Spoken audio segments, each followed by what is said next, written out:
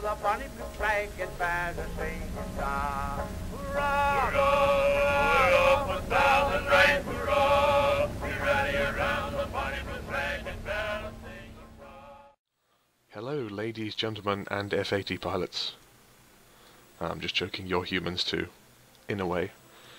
Um, this is Reach for the Sky, and I'm going to be um, beginning a series of commentaries, most of which will be live, in this game that I'm currently posting on the forum of, and showing you footage of, and playing.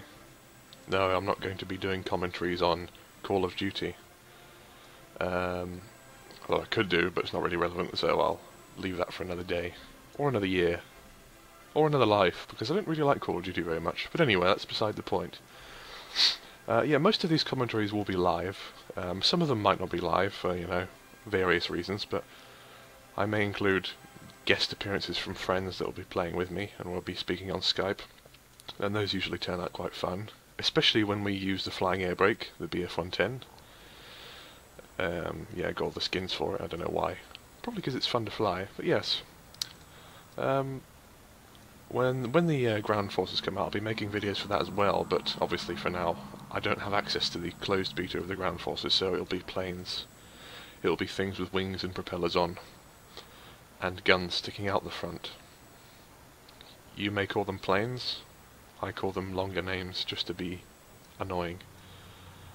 But, uh, uh, well, apart from that, I suppose there's not much more to say, apart from I hope you enjoy my content, and stay tuned to my channel to keep an eye on what I'll be uploading. Um, yes, this series is going to be called Airborne, as you may have guessed from the title.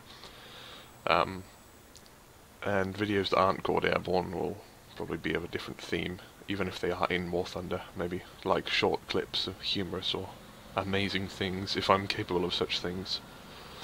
I'm not a bad player, I suppose. You can have a look at my stats now. Um, they probably mean more to you than they do to me, because I don't really know how to read stats very well, apart from kill-death ratios, and this isn't really that sort of game. Maybe it is. But they're choosing a great moment not to work. Maybe it's got something to do with this patch. There we are. You can pause the video and have a look at those if you're interested.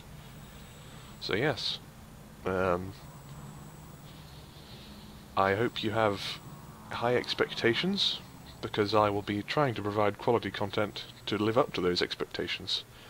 Because there's quite a few War Thunder uploaders and there's a lot of content going around, so I need to make sure I'm uploading quality content to uh, make a positive contribution to this community and other propaganda.